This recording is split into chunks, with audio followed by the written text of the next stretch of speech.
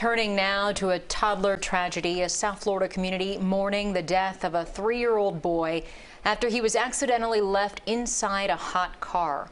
Police say the tragic accident happened right outside a preschool where both his parents work. Now, the child is reportedly one of several children from the same family who attend Lubavitch Educational Center. Tonight, we have live team coverage. CBS 4's Ivan Cabrera standing by with a breakdown on the scorching temperatures of that tragic day. But first, CBS 4's Joan Murray joins us now with a life-saving warning for all parents. Joan?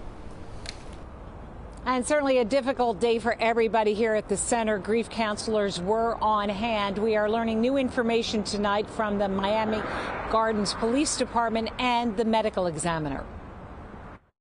It's terrifying, especially South Florida. I mean, it's not just a summer problem here. A parent's worst fears becoming reality when a three year old dies in a hot car outside the Lubavitch Educational Center where his parents worked. I, oh my gosh, I don't know. Parents in disbelief Tuesday as more details emerge on how the toddler died. Miami Gardens police telling us the three year old was left in the vehicle by his father. No charges have been filed, and the investigation is ongoing. A vehicle acts like a greenhouse and it heats up very quickly and uh, and to really dangerous temperatures within minutes for a young child. The Miami Dade medical examiner confirming the three year old cause of death was hyperthermia, an overheated body. The manner of death, accident. Amber Rollins is director of kids and car safety. The younger the child, the less capable they are of regulating their own body temperature. So, an infant is going to overheat much quicker than a toddler. A toddler will overheat much quicker than uh, a teenager, and so forth. It's something parent Heather Carnival is acutely aware with her two year old son in the back seat. She keeps her rear view mirror on him at all times, and she's always checking. And I, plenty of times, have driven home because I work from home from his uh, daycare, and I, I just check and I make sure it's empty. But many brand new cars are equipped to alert parents. Carlos Izagu at Tropical Chevrolet showed us how after the back door is opened and the driver stops, they get a message saying to look in the back seat. It's an extra step that you add basically when you turn off the car that prevents you to leave, you know, somebody in the back seat. And this text sent to the driver of a 2019 Lexus telling them to check the rear seat.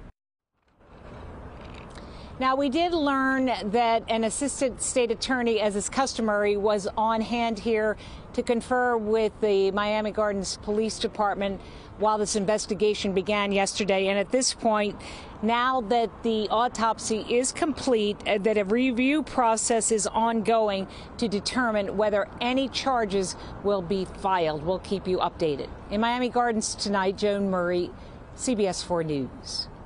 Joan, just heartbreaking. And yesterday's tragedy, one of many that have occurred here in Florida. In the last 10 years, 41 children have died after being left in hot cars. And of those, 14 happened in South Florida. There was at least one death every year from 2012 to 2022, with the exception of 2014 and 2020. The ages of those children range from six months to four years old. And our team coverage continues tonight with CBS 4 Next Weather Chief Meteorologist and Hurricane Specialist Ivan Cabrera with some perspective into yesterday's tragic accident. Ivan, such an incredibly horrible loss, so close to home. Can you tell us what the temperatures were like in Miami Gardens at that time yesterday? Yeah, I'm talking about 90s and 100s. And you, you talk to parents, and uh, everybody says, well, I, I, that wouldn't happen to me. Obviously, it happens uh, every year, unfortunately, here. And these temperatures is what we had 347. All right, so these are the air temperatures without factoring in the humidity. We had temps in the lower 90s in Miami Springs. Now, watch what happens uh, when I put the heat index here. This is how it felt to us outside, right? Outside of a car. Uh, check this out here. It's just an oven effect. We always say that, and I reiterate it every year because it just keeps on happening. 93 degrees. Uh, what is that going to make it feel like inside a closed car? Well, 109 in 10 minutes. Half an hour, you're at 124 and then 133 in 60 minutes.